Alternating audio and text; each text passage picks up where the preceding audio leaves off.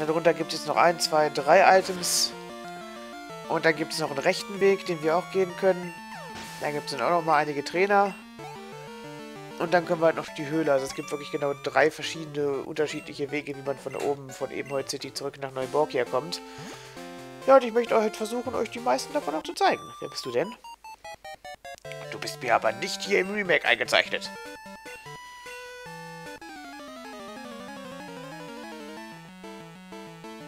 Oder bist du Astrena Mira? Du bist Astrena Mira, okay. Der ist im Remake auf der anderen Seite des Flusses. Oder die ist im Remake auf der anderen Seite des Flusses. Oh, Wasser-Pokémon, die große Schwäche von Keifel. Dann wird dann Meganie wieder ran müssen. Meganie schließt übrigens mittlerweile auch so ein bisschen auf an, Kai, äh, an Kingler. Finde ich persönlich ganz gut, weil so ein super overpowertes Pokémon zu haben, finde ich persönlich sowieso nicht so toll. Und ja, ich hatte es glaube ich vorhin schon erwähnt, auf dieser Route gibt es auf jeden Fall Georg Kleinstein, ähm, Skorgler und Teddy Ursa zu fangen. Im Remake ist es allerdings anders. Im Remake gibt es Gorgler und Funpi in Hearth Gold und Teddy Ursa und Panzer Eron in Soul Silver. Da ich hier allerdings nur Skorgler und Teddy Ursa angetroffen habe, wird es hier wahrscheinlich anders sein in den alten Editionen. Dann wird es in den alten Editionen wohl noch so gewesen sein, dass es Gorgler und Teddy Ursa in Gold gibt und Funpi und Panzer Eron in äh, Silber dann. Das ist interessant. Hätte ich jetzt nicht gedacht, dass sie die Pokémon dann umtauschen. Oder es ist auch ein Druckfehler in dem Heft. Kann auch sein, das ist nämlich gerne mal, dass ähm, da irgendwas falsch steht in dem Heft. Aber ja, sehr merkwürdig, sehr merkwürdig. Ich hätte jetzt nicht gedacht, dass sie die Exklusivität von Pokémon umändern.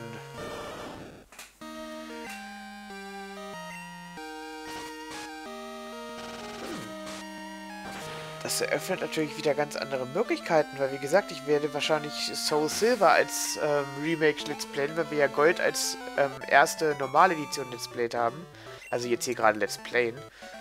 Und da es ja in, laut dem Heft hier in Soul Silver Teddy Ursa gibt, dann könnten wir Teddy Ursa tatsächlich als eventuelles Teammitglied im Remake machen. Fände ich persönlich auf jeden Fall ganz schick. Teddy Ursa habe ich, glaube ich, noch nie trainiert, beziehungsweise Ursa Ring. Deswegen warum nicht? Ich glaube, hier gibt es gar keine zwei verschiedenen Flussseiten, deswegen ist Astrena Mira jetzt da drüben. Weil ich sehe hier überall links und rechts nur Wände. Das hat man, glaube ich, in dem Remake erst eingeführt, dass sich ein Bach komplett von oben bis nach unten durchschlängelt. Der Optik halber. Nein, nicht Bodycheck. Oh, oh, oh, der setzt doch Finale ein. Der setzt doch Finale ein. Okay, Intensität. Da habe ich mich verklickt. Ich wollte Eissturm einsetzen. So. Oh, das wäre natürlich, hätte auch schief gehen können. Dann wäre unser Kaifer nämlich gleich wieder weg gewesen. Und dann wäre es das auch mit dem Trainieren auf dieser Route gewesen. Das ging so ein blödes, wildes Georock. Da ist noch eins, aber vor dem fliege ich jetzt lieber. Ich will jetzt, wie gesagt, kein Risiko gehen.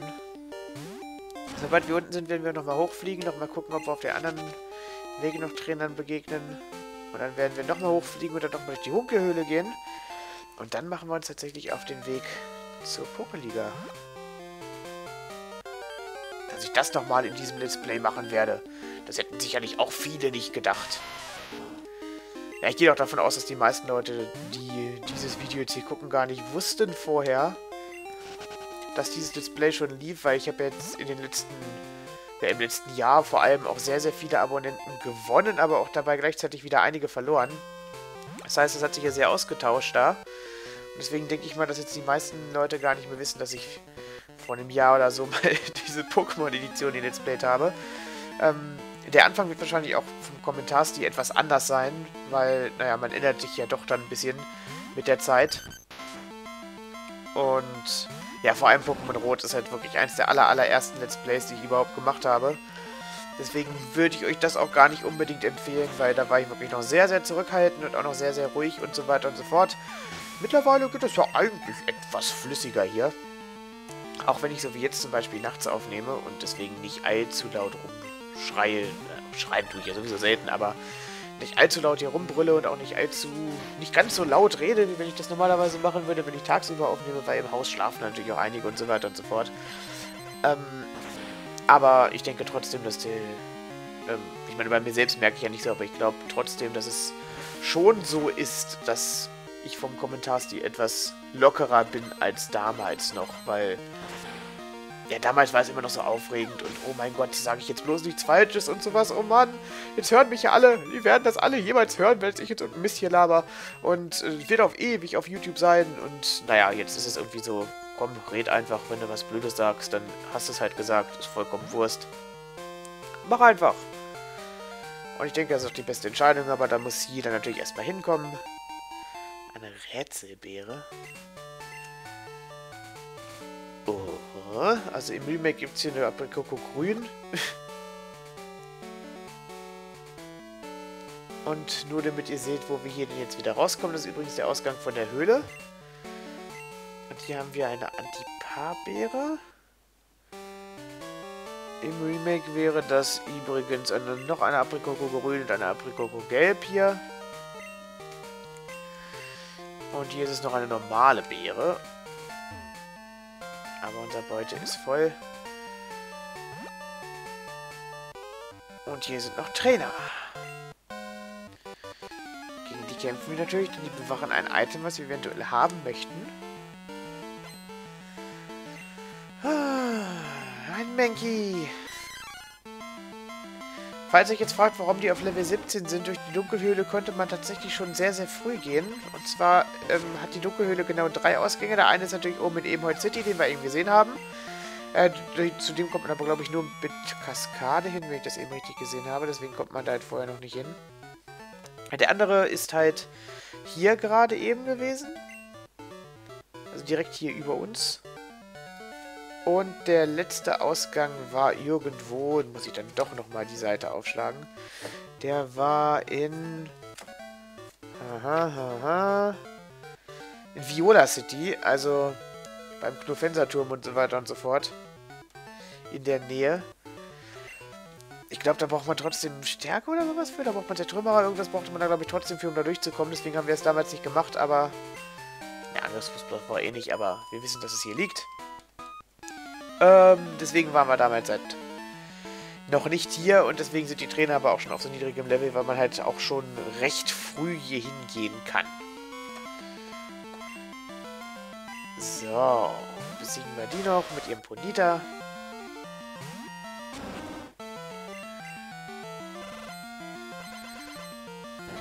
Oh, jetzt habe ich mit Pulver schnell angegriffen, aber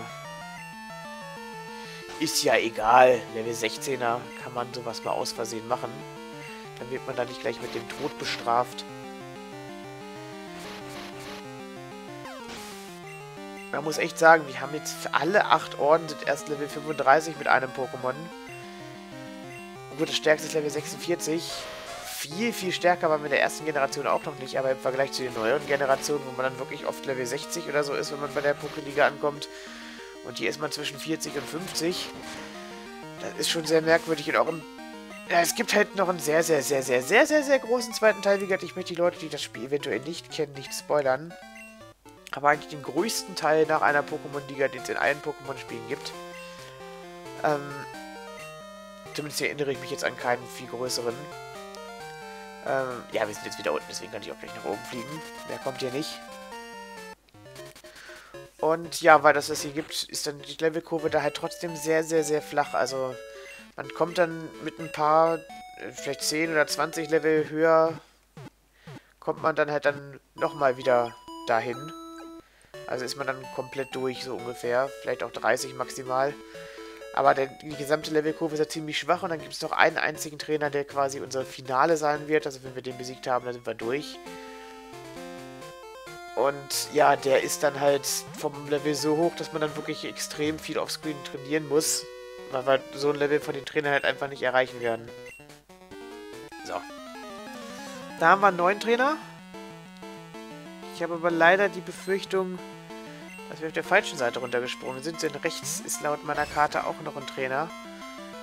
Obwohl, mir ist egal, auf welcher Seite man runterspringt. Man muss eh nochmal bei beiden irgendwie also muss man den Weg sowieso viermal laufen. wenn man alle Trainer besiegen will. Einmal durch die Höhle, einmal durch den linken Weg und zweimal durch den rechten Weg. Ja, hätte man auch anders machen können als Entwickler. Man hätte es auch so machen können, dass man da trotzdem diese Dinger runterhüpfen kann, aber trotzdem mit einem perfekten Weg alle Trainer abgrasen. Finde ich nämlich immer blöd, wenn man eine Route so oft laufen muss, bis man dann alle Trainer besiegt hat. Nur weil man seine Pokémon auch vernünftig leveln möchte. Aber die haben es halt so programmiert und dann müssen wir es so hinnehmen. Ja, Keifel macht das nach Rollo platt. Kampf ist auch eine Schwäche von uns. Ich glaube, wir haben die Schwächen Kampf, Wasser, ähm, Stahl auf jeden Fall noch. Und Kampf ist, glaube ich, sogar eine Vierfachschwäche, oder? Ne, Kampf ist, glaube ich, nur eine Doppelschwäche. Ich glaube, gegen Boden ist keine Schwäche Kampf. Äh, auf jeden Fall war noch irgendwas als Schwäche. Ich habe nämlich gelesen, dass wir nur eine einzige, also Elektro bringt uns gar nicht, weil wir halt die Boden sind. Und ähm, Gift bringt gegen uns nur ein Viertel, aber alles andere ist Normal- oder Doppelschwächen. Also wirklich Resistenzen hat Kaifei wenige. Was ihn jetzt nicht zu so einem guten Pokémon macht, aber wie gesagt, wir haben halt weder den Typ Boden noch irgendwas ähnliches. Also Stein und Boden finde ich halt beide sehr ähnlich, äh, zum Beispiel. Und auch nicht den Typ Eis in unserem Team. Das heißt, es macht schon durchaus Sinn, Kaifei trotzdem zu nehmen. Ja, und da oben ist der andere, wisst ihr was? Da wir eh noch so weit oben sind, fliege ich auch deswegen gleich nochmal wieder zurück, damit wir den gleich mitnehmen. Bevor wir dann wieder nach ganz unten rennen und dann wieder oben starten müssen. So, und da müssen wir natürlich jetzt aber gleich den richtigen Weg gehen. Wir müssten Schwarzgurt Timon, Wanderer Roman und Wanderer Philipp ausgelassen haben. Und die schnappen wir uns jetzt noch. Also runter hier.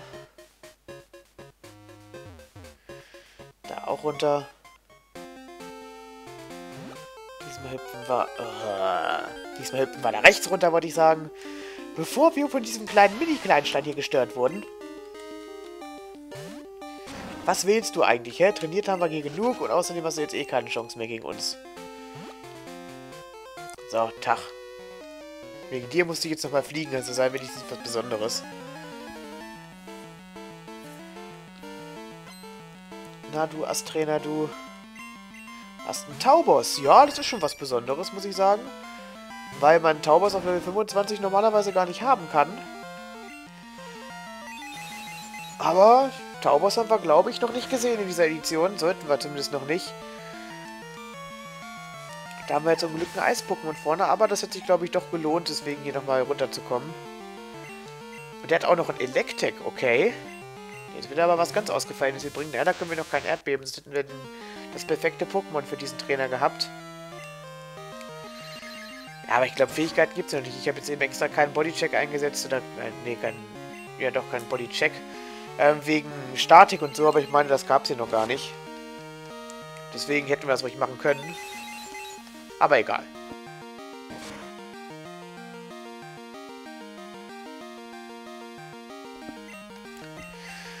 Ah, so, Electek. Was hältst du noch so alles aus? Den hier und noch ein Pulverschnee, dann sollte es das gewesen sein. Oh, Kreideschrei schlug fehl. Pulverschnee. Und weg. 901 EP. Aber wegen dem hat sich definitiv gelohnt. Wie ich finde, ein viel, viel besserer Trainer als der Linke da, also als der Wanderer.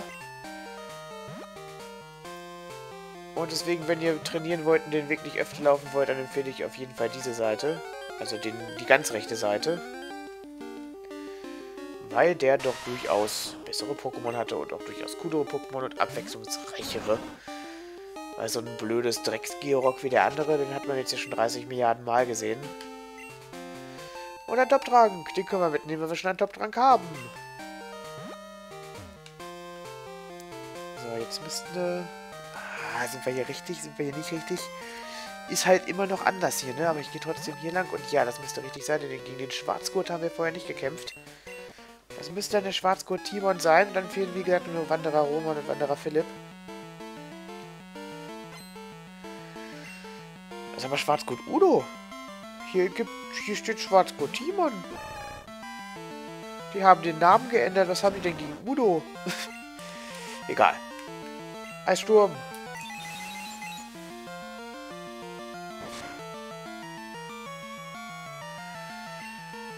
Ja, wir werden gleich eh verkacken, weil Karateschlag einfach verdammt effektiv gegen uns ist und Maschok auch schon verdammt stark ist und dann auch mit dem Volltreffer natürlich noch mal mehr Schaden macht. Scheiße, jetzt geht die auch noch daneben. Okay, das war's dann mit Keifel. Ich bin das Risiko angegangen. Aber wir haben auch so viele Hypertränke, dass ich die natürlich mal verwenden werde hier. Gut, wir hätten auch aufs Xatu switchen können. Da hätten wir zumindest ein sehr effektives Pokémon gehabt, was auch Training braucht, aber... Jetzt sind wir einmal dabei mit Keifel. Obwohl, nee. Wir wechseln jetzt doch zu Xatu. Wir haben jetzt halt zum Beispiel schon mal Keifel geheilt für den nächsten Kampf. Und jetzt kommen noch zwei Wanderer. Und die sollten wir dann halt trotzdem irgendwie beide noch gut besiegen sollen, können, möchten. Weil mit Kai werden wir dann doch mit den Eisattacken was gegen die Steinsdinger, die die haben. Und dann sollte das klappen. So.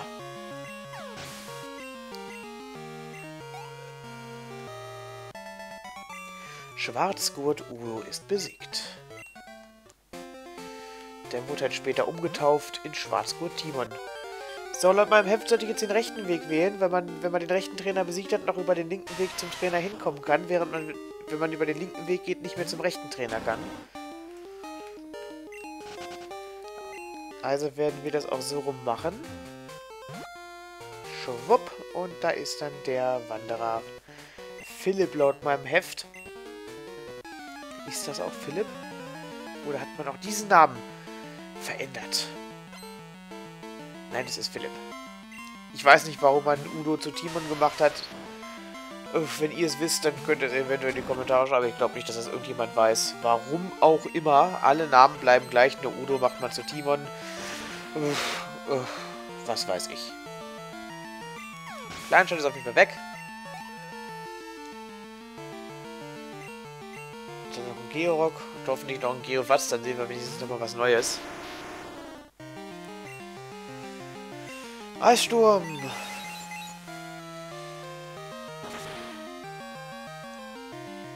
Und tschüss, Georock. Reicht nicht ganz für ein Level up, aber er hat tatsächlich noch einen Geowatz. Das gefällt mir dann. Danke sehr dafür. Ah, wenn wir jetzt treffen würden, dann würde es eventuell dann reichen fürs nächste Level. Dann triff jetzt auch. Mein Gott, das hat eine 95-prozentige Trefferchance. Willst du mich verarschen, dass du gleich zweimal hintereinander nicht triffst?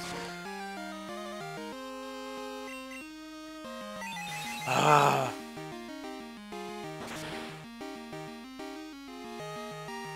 So, weg. Tot.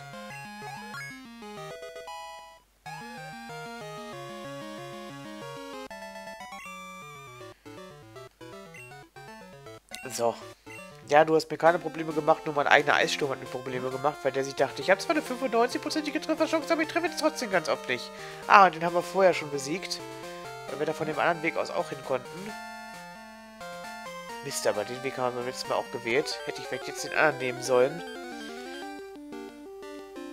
Da konnte ich mich jetzt aber nicht mehr hundertprozentig daran erinnern, welchen Weg wir eben gerade gegangen sind. So, ich kann auf jeden Fall jetzt mal kurz erzählen, warum ich das Let's Play denn so lange pausiert habe. Und zwar lag das meiner Meinung nach sehr stark an der Philosophie von Nintendo. Ähm, ich habe ja zwei Gründe gehabt. Einmal wegen dessen und einmal halt, weil ich auch sehr, sehr wenig Lust hatte auf Nintendo-Spiele. Ich weiß nicht, ich habe halt manchmal richtige Phasen, wie jetzt zum Beispiel gerade, wo ich am liebsten jedes Nintendo-Spiel hintereinander spielen würde. Also Zelda und Mario und Pikmin und was weiß ich, Mario Kart, Mario Party, Mario 3D, Mario 2D, was weiß ich. Ich kann jetzt momentan eigentlich überhaupt nicht genug davon bekommen. Ich könnte jetzt jedes Nintendo-Spiel, was es gibt, auf einmal hintereinander durchspielen. Und dann habe ich halt auch wieder so Phasen, wo ich dann, ja, Lust auf was anderes habe, wo es dann halt, und so eine Phase war halt damals zum Beispiel auch, dass ich dann gesagt habe, boah, Pokémon, nee, erstmal nicht. Boah, Mario und Luigi auch erstmal nicht.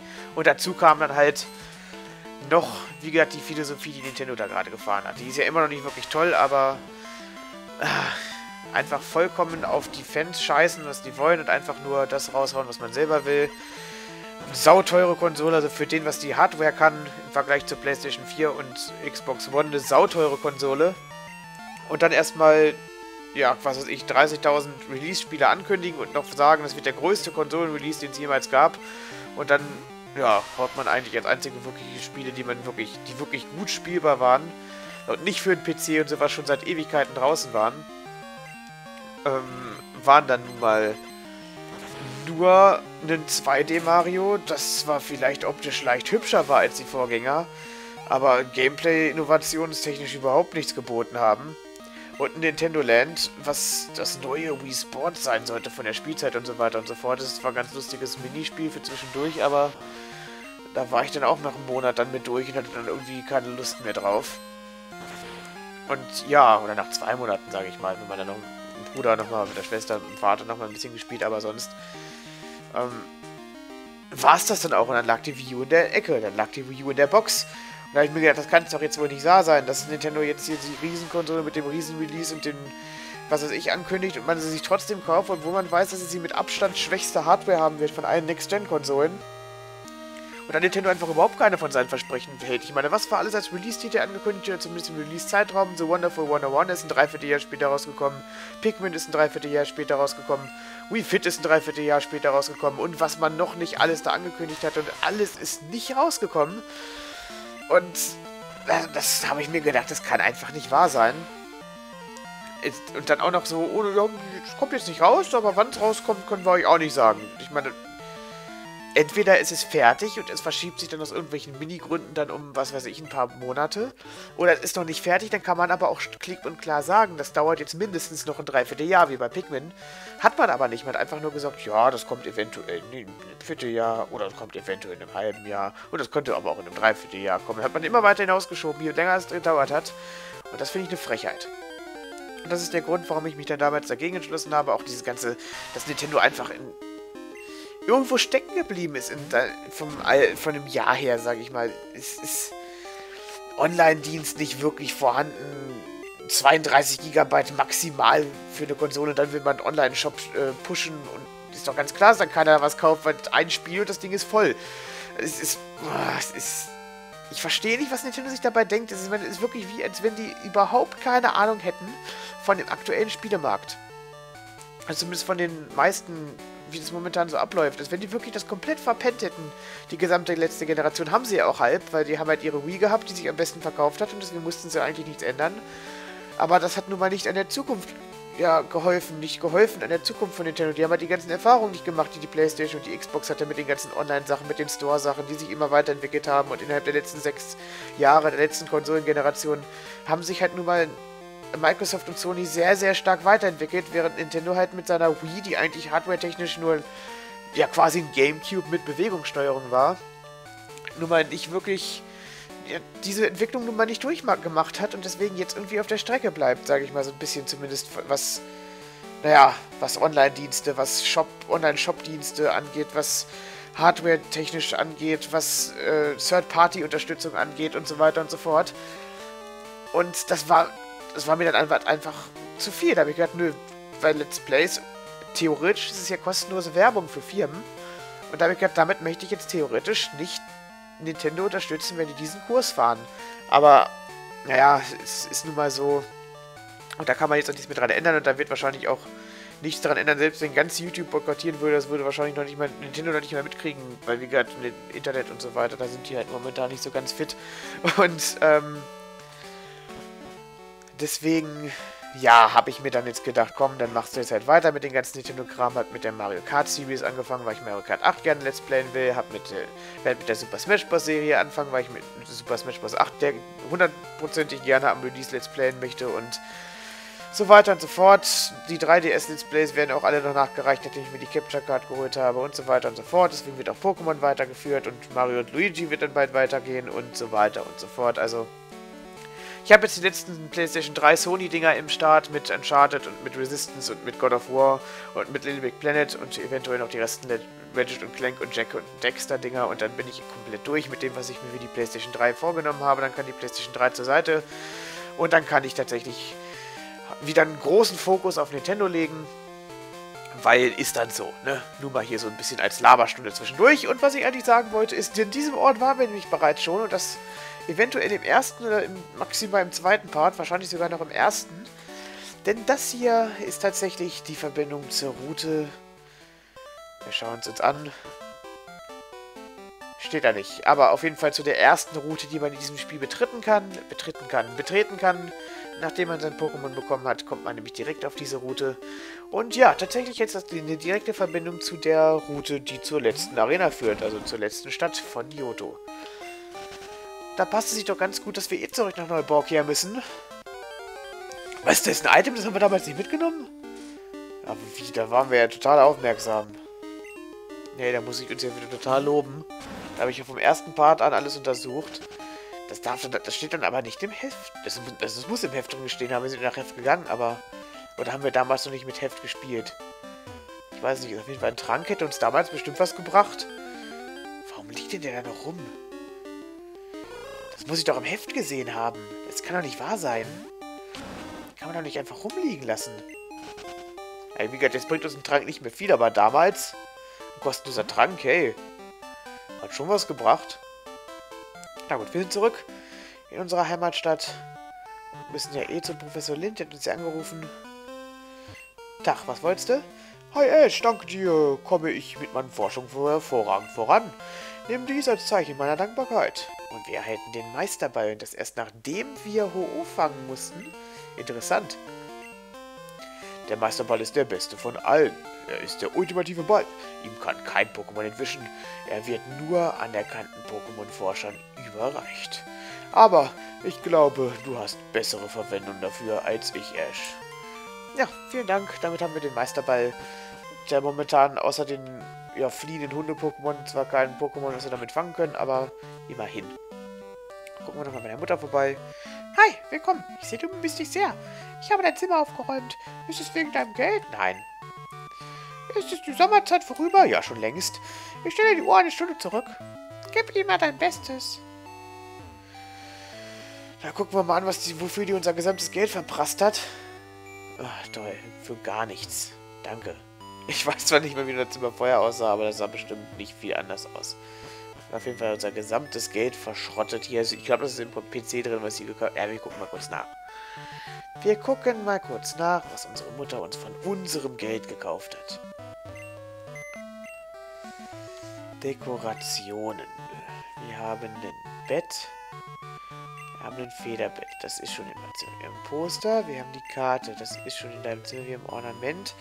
Und da haben wir nämlich jetzt die Blumanda-Puppe. Können wir rechts hinstellen.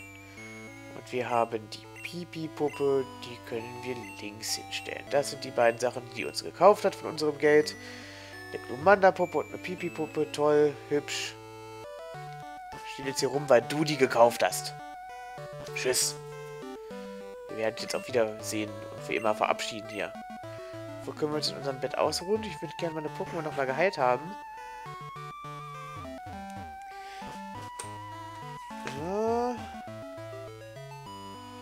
Ist jetzt nicht wo sonst, weil normalerweise in neuen Spielen heilt unsere Mutter uns ja, aber das tut die hier leider nicht. Zumindest habe ich das eben nicht mitbekommen. Nein, ich will jetzt hier weg. Schön, wenn man nebenbei umblättert und dabei hier guckt. Irgendwie zu spielen. So. Egal. Jetzt darüber, denn das ist jetzt die neue Route, die wir jetzt erschließen können.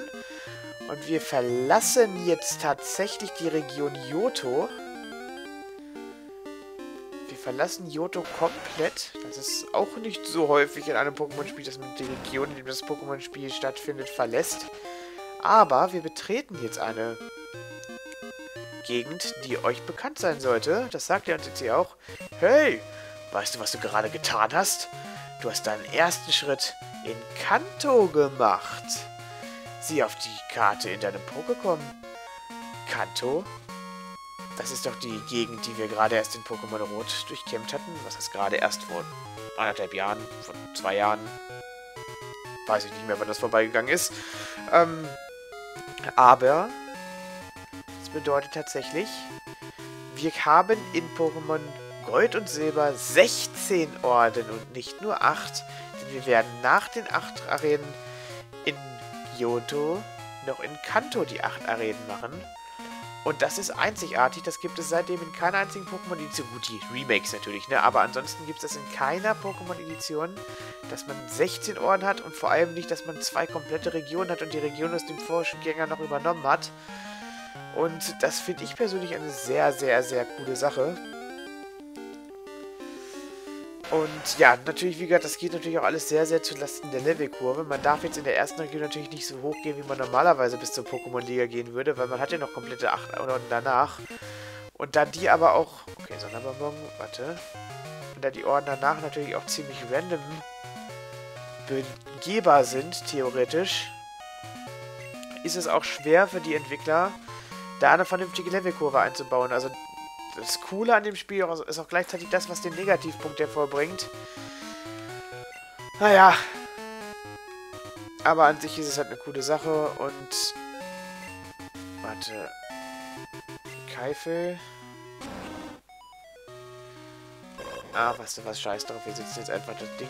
Oder hat Xatu gerade ein Level... Nee. Wir setzen jetzt einfach den blöden Sonderbonbon Keifel ein. Oder nee, wir warten bis Keifel das nächste Level bekommt, setzen dann den Sonderbonbon ein damit der noch ein bisschen näher aufschließt. Also, dass alle mindestens Level 45 sind, ist eigentlich schon eine Sache, die ich gerne hätte, bevor wir in die Pokémon-Liga kommen. Die ist nämlich da oben. Ja, wir werden erst die Poké-Liga machen und dann wird es noch die weiteren 8 Orden geben. Davor gibt es noch einige Trainer und noch eine kleine Höhle, wo man nochmal Kaskade einsetzen muss, damit das Spiel sicher geht, dass du auch auf jeden Fall den letzten Orden hast. Wobei ich glaube, dass der Typ hier vorne das auch überprüft, dass ich glaube, der sagt nicht hier, hey, du hast gerade deinen ersten Schritt in Kangaroo gesetzt, jetzt guck auf die Karte, ich das sagt er nur, sobald du alle Orden hast. Vorher sagt er, geh lieber wieder zurück. Ähm, du bist hier wieder am Platz, irgendwie sowas sagt er da. Falls ihr euch auf jeden Fall für äh, das Drachen-Pokémon Dratini entschieden haben solltet, gibt es hier vorne auch eine coole Sache, nämlich irgendwo hier, ich weiß es nicht wo, lese ich hier gerade, gibt es auf jeden Fall die TM Drachenklaue. Jetzt brauchen wir auf jeden Fall Kaskade. Es gibt auf jeden Fall die TM Drachenklaue und ja, auf jeden Fall eine sehr, sehr coole Drachenattacke. Oh, und das ist die dritte verkackte Wasser-TM VM. Und das kann King dann noch nicht mal lernen, natürlich. Ja, was soll jetzt sagen? Ach, verkackte Dreckskacke. Ja, damit ist hier das Spiel für uns vorbei. Ich hoffe, ihr hattet Spaß. Nein, äh, ich fliege hier, glaube ich, weg. Und dann, keine Ahnung, wir müssen irgendwo hin, wo es ein Pokécenter gibt. Ich hoffe, Lapras kann das erlernen. Dann kann ich den nämlich jetzt anstelle von Knuffenser mitnehmen. Ich glaube, der Schneider brauchen wir da hinten nicht. Und hier mal kurz gucken. Benötigte VMs ist dann nur Surfer, zumindest im Remake. Und in der Siegesstrafe so brauchen wir auch keinen Zerschneider. Das heißt, na, ich glaube, einen Blitz brauchen wir in der Siegestraße, ne? Hm. Ja, ich hoffe einfach mal, wir brauchen keinen Blitz. Und dann lege ich Knuffenser ab. Und nehme dafür einen Lapras mit. Hey Lapras, Team-Pokémon aus dem ersten Pokémon Let's Play. Ähm, und ja, bringe dem jetzt erstmal Kaskade bei. Nein, Lapras kann auch nicht Kaskade lernen. Okay, dann brauchen wir eventuell das rote Garados. Das sollte aber Kaskade lernen können, oder? Ja, ich meine, das habe ich damals auch immer als VM-Sklaven dabei gehabt.